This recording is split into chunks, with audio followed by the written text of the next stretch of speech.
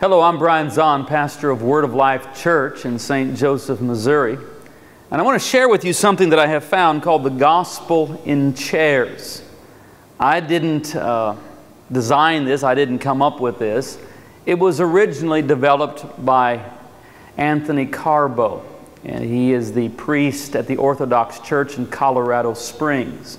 And then I heard about it through Steve Robinson, who hosts our Life in Christ podcast. But what the gospel in chairs is, is a presentation of the gospel in two different versions. There is the modern, Western, judicial version of the gospel that most of us, especially in North America, are very familiar with.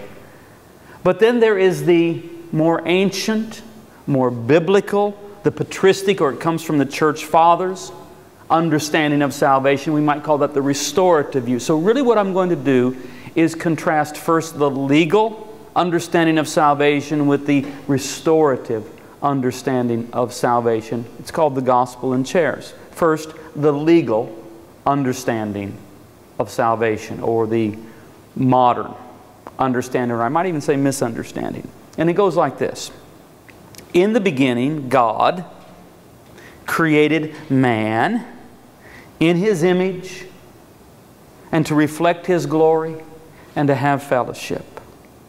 But man in the garden sinned. And as man sins, he becomes sinful, and God, because he is so holy and righteous, cannot look upon sin. And so God turns away from man. But God, in his love for humanity, sends his Son to occupy our place. And Jesus Christ lives in our stead, and He lives as we were intended to live. He lives in full relationship with the Father, never turning away, always doing His will. But at the end of His life, Jesus is put to death. And in that moment, the Father does the unthinkable. He takes our sin and places it upon Jesus so that Jesus becomes sinful and God cannot look upon sin because of his holiness and righteousness and turns away from his Son, and Jesus Christ receives and experiences the full wrath of God.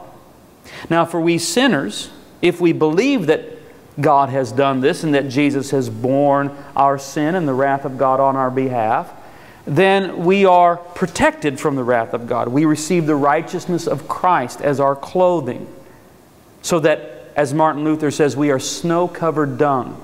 As many preachers have described it, Christ becomes our asbestos suit to protect us from the white, hot wrath of God against sinners. Now, that's if we believe this. If we don't believe that Jesus has done that, then we remain in our sin, and God's wrath remains upon us. We remain forever alienated from God, and eventually the sinner is condemned to hell. That's the legal understanding of the gospel, a modern version of it. The more ancient, the patristic, the understanding of salvation that would be common to the early church fathers, I'll call it the restorative understanding of salvation. I believe it's much more biblical. And it goes like this In the beginning, God created man in his image to reflect his glory and to have fellowship. But in the garden, man sinned and turned away from God. As a result, man became subject to futility and death. So that the great problem that the gospel addresses is not primarily the problem of legal guilt or personal guilt, although that's included, but the problem of humanity being subject to death. That is the great problem the gospel addresses. Now, because God loves humanity and doesn't want His creation to be subject to futility and death, God takes on humanity. He becomes a human that He might heal humanity. He takes on our nature that He might heal our nature. And so, here is a woman who, because of being subject to futility and death, has lived a life where she's gone from man to man, marriage to marriage. She's been married five times. Now she's living with a man, still never finding the love that she longs for. And what happens? God comes and sits down by her at a well. And he says, I am the water of life, and I will love you. Here is a man who, for the sake of greed and ambition, has become a tax collector. That is, he's in collusion with the occupying Romans. And he participates in a system of oppressive taxation against his own people. As a result, he is ostracized and alienated daily. He has wealth and power, very few friends. No one wants to eat with him, no one wants to be his friend. But what happens? God comes and sees this tax collector up in the tree and he says, Zacchaeus, come down.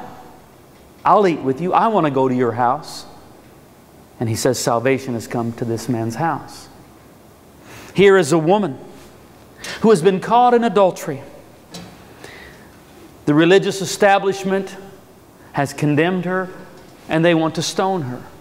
But when she is brought into the presence of God and thrown down at his feet, God kneels down beside her and says, Let him who is without sin cast the first stone. And then he speaks to the woman and says, I do not condemn you.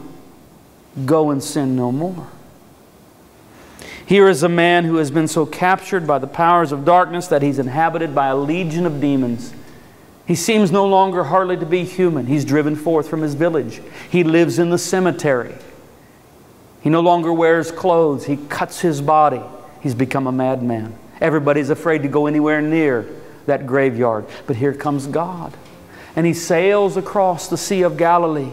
And he says, I will come to you, and I will set you free. And he casts out the demons and the darkness so that the man is now clothed and in his right mind, sitting with God.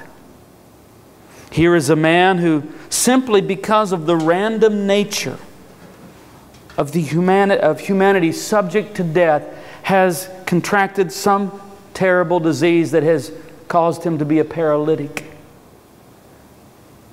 And when he is brought into the presence of God, what does God say? He says, Son, your sins are forgiven you.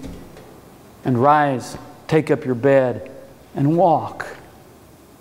And when humanity, driven by fear and pride, maintaining its system of an axis of power enforced by violence, take God and betray him, spit upon him, mock him, scourge him, condemn him, and crucify him, what does God say?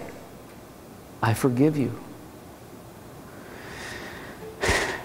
And when humanity experiences the final dissolution and falls away into death to be forever separated from God, God says, Love is greater than the grave, and though you make your bed in Sheol, I am there. And God in Christ joins humanity in death. In his wild pursuit of humanity, God is willing to go all the way down into death. But God also says, I am the resurrection and the life. And he conquers death. I am he that liveth and was dead, and behold, I'm alive forevermore. Amen. I have the keys of death and Hades. And he says, All who are in the grave shall hear the voice of the Son of Man, and they shall come out of their tombs. So now there is no place where God is not. He fills all things with His love, for God is love. And there flows from the heart of God's love a river of fire.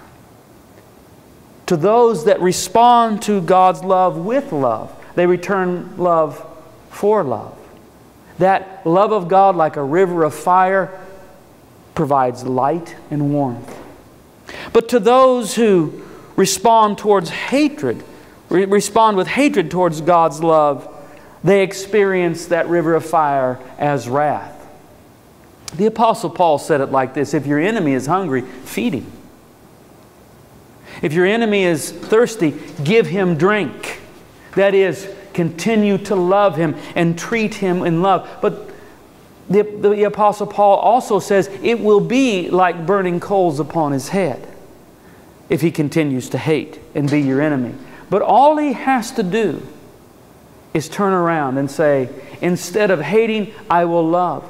And then when you give your former enemy, who is now a friend, food and drink, it's no longer torment to him, but it is the joy of a shared meal.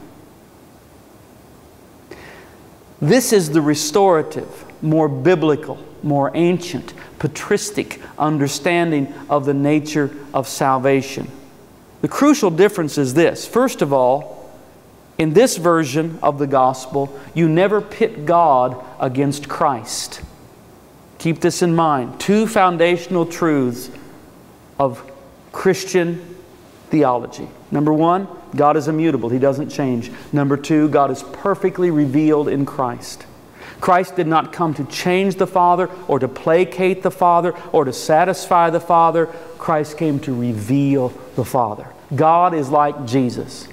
God has always been like Jesus. There's never been a time when God was like Jesus, but we haven't always known what God is like, but now we do.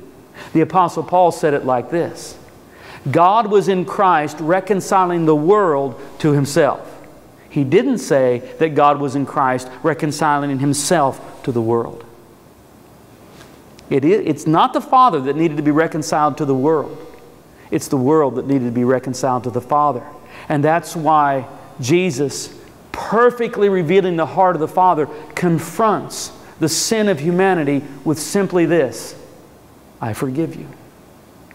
The other difference is you see that in the restorative, patristic, more ancient, more biblical understanding of salvation, God is never turning away from humanity. See, God is perfectly and fully revealed in Christ. When do you see Jesus ever turning away from a sinner and saying, I am too holy to look upon your sin? Did Jesus ever do anything like that? No. It was, in fact, the Pharisees that did that. The Pharisees were the ones that would say, I am too holy to look upon you and turn away. I want to suggest to you that God is like Jesus, not like a Pharisee. He's not turning away from us. As we turn away from God, the gospel is that no matter where we turn, God is always there confronting us with His love. This is not, the gospel is not this. That is not the gospel. This is the gospel. That when we turn away from God, He turns towards us. And when we turn away from God, He turns toward us. And when we run away from God, He confronts us with His love. And even when we murder God, He confronts us with forgiveness. Father, forgive them, for they know not what they do. That's a healthier, more biblical understanding of the gospel that doesn't pit God against Christ, but understands this that God is like Jesus. God has always been like Jesus. There's never been a time when God was not like Jesus. We haven't always known this, but now we do.